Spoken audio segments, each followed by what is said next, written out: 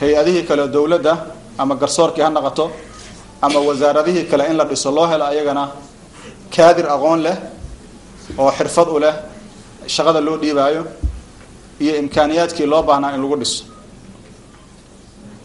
Maanta oo kale in wasaaradahaas oo dhan ay istaagaan oo ay shaqeeyaan waxay u baahan tahay wax aada iyo aada u tiro badan. Laakiin haddana dadku marka ay qaataan go'aan ah inay wax dhisaan waxaan shaki ku jirin ilaahay subxaanahu wa tacaala ku guule ku guuleynayo hawshaas ay u istaageen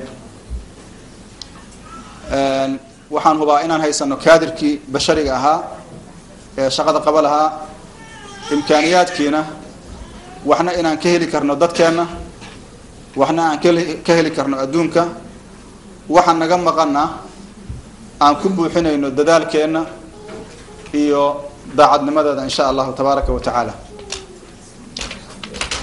dhibaatooyinka ka dhashay dowlad la'aanta waxaa ka mid ah burcadbadeeda shabaab keliya ma aha ma aha alqaacido dalka soo gashay waxaa ka mid a burcadbadeeda waxaa ka mid a waxaa dhibaatooyinka ka dhashay qof walba soomaaliya maanta dhibaatada ka dhacda soomaaliya ama ka dhacda meel kasta in loo aaneeyo oo dhibaatadeedu meesha uu joogo ay ku soo gaarto waa la socotiin waxaa hadda ka dhacay kambada.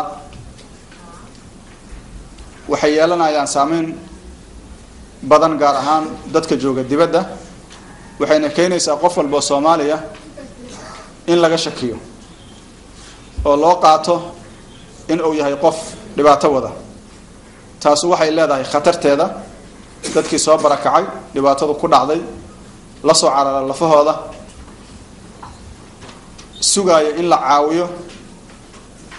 Haddii loo arko inay yihiin dad khatara oo khatar ku ah amniga dowladaha dariska ah ama adduunka mataqaanaa meelaha ay ka joogaan o dhan khatar ku ah arrimahaas waxay keenayaan dhibaatooyin aada u fara badan.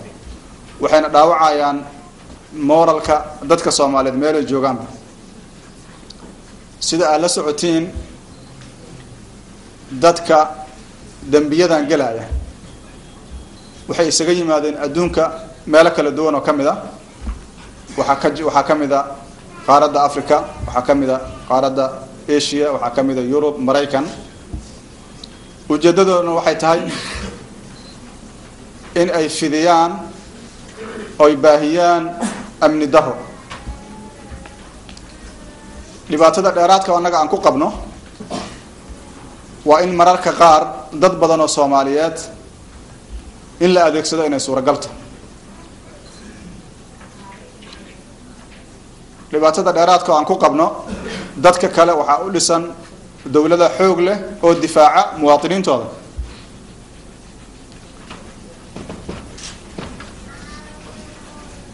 Dadka soomaaliyeed sida ay ugu baahsan yihiin adduunka waxaa laga yaabaa shucuubta kale inaysan ugu baahsanayn. Waxaa laga yaabaa dadka soomaaliyeed wadciga ay ku nool yihiin oo ah wadci qaxootinimo shucuub badan oo adduunka ka tirsan inaysan ku nooleyn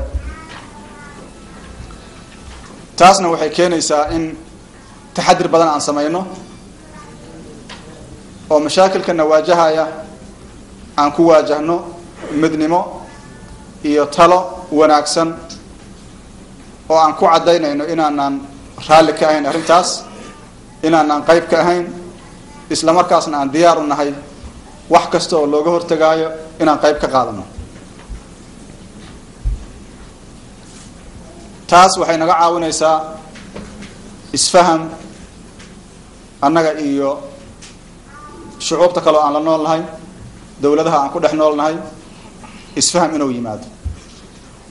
Waxyaabaha kaloo lagama maarmaanka ah waxay yihiin in aan soo celino amniga gudaha lagana sifeeyo cadowga dalka jooga si aysan u dhicin in la adeegsado wiilasha soomaaliyeed ee looga been sheegay diintooda ama looga faa'iidaystay baahida ay u qabaan shaqo.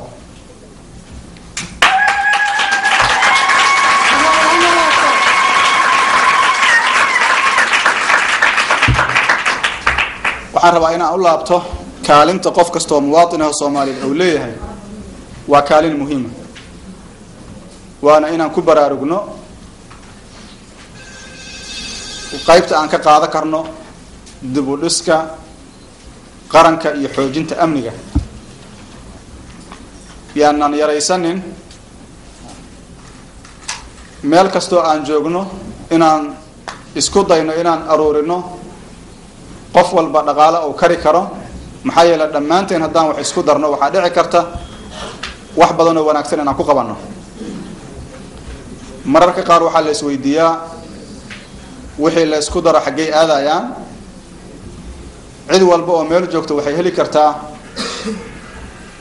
qaab ay ku kalsoon tahay iyo waxay jeceshahay in lagu qabto inay ku baxaan wixii la isku daro.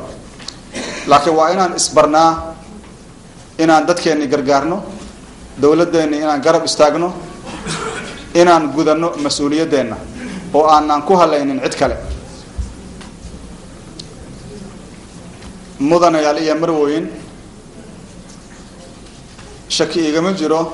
Dareenka aan idiin soo gudbiyo inaan wada wadaagno. Dhammaanteena inay nagu jirto soomaalinimo iyo dowlad jacayl. Dhammaanteena inaan qabno waxa aan uga gudbi karno dhibaatada aan ku jirno inay yihiin dowladnimo dhammaanteena inaan diyaar u nahay inaan ka wada qayb qaadano badbaadada qarannimadeenna maxaa yeelay kullama ay sii dheeraato dhibaatadan waxaa laga yaabaa inay soo ifbaxaan mashaakilo kale oo annagu hadda aanaan ka warayno aan aan aan oolin miiska. Maxaa yeele shabaabna shala lama aqaanin. Alqaacida ma joogin dalkeennii. Waxaa keenay fawdada iyo nabad la'aanta. Hadday sii socoto arrintaasna waxyaabo badan oo kalea laga yaabaa inay yimaadaan. Sidaas darteed ayaan waxaan rabaa hadalkayga inaan ku soo gebagabeeyo qof walboo soomaaliya haw qaado mas'uuliyadda ku saaran waxa aada uga qayb qaadan kartana waa badan yihiin. Waxaad uga qayb qaadan kartaa talo wanaagsan. Waxaad uga qayb qaadan kartaa inaad timaadid dalka oo shaqada aad taqaanid aad qabatid. Waxaad uga qayb qaadan kartaa dhaqaalaha ku soo gala inaad qayb u qoondaysid dalka in wax looga qabto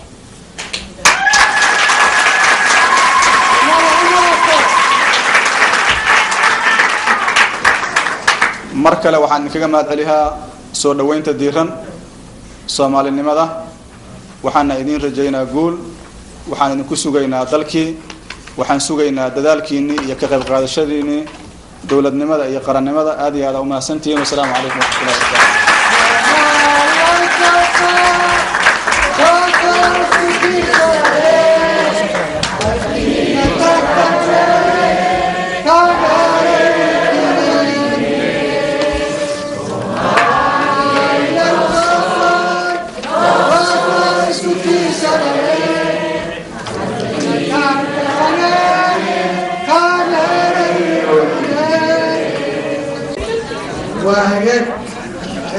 waa jeclaalahaynay inay yani shirka intaa looga sii dheeraado. Waktiga ayaa aada iyo aada ciriiri u ah. Marka sidaas daraaddeed idinkoo aada iyo aada u mahadsan. Madaxweyneheenna khudbadiisii runtii waa mid lagu qanci karo waana ku mahadsan yahay. Wafdiga la jirana waa mahadsan yahay. Marka waktiga oo lagu gaaban awgiis هذا الأوجد بالله بالشدة قريبا كملة أما وكيل الصورة قال ما معها وجعل لها ما هو إنه الأوجد بيل لكن وقت ما السين أيام مرك غال أيام قعد سنة إنه هذا آه، مدر مدر وين أدي بقى دي هذا ما هتسم والله ما تريني شيء. Thank you.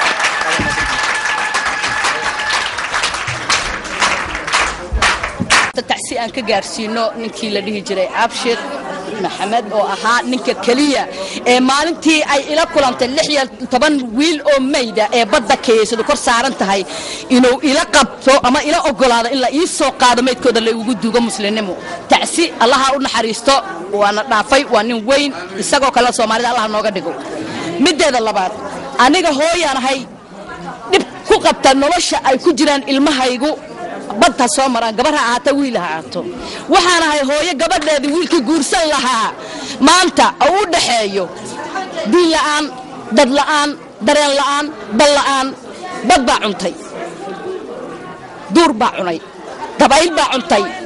Intoodii soo hadhayna saddex qaybood bay noqdeen qaarna gaalshiray ku jiraan qaarna daraagis iyo diriinkanay u go'een wax ii haray ma jirta raggaan maanta gabadhayda guursan lahaa bal ii sheega inaan ragow dadka iga guursanaya gabdhaha iga guursanaya iga sharfaya ii qiimaynaya